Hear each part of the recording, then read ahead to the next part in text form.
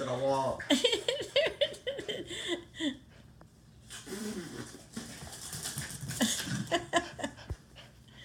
Wally, you're like.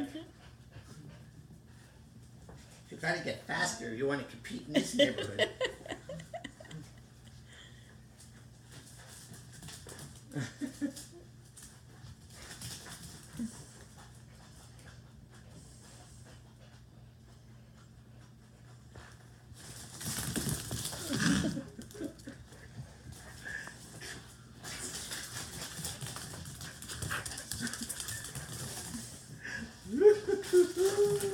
And this is how we tucker out the dogs.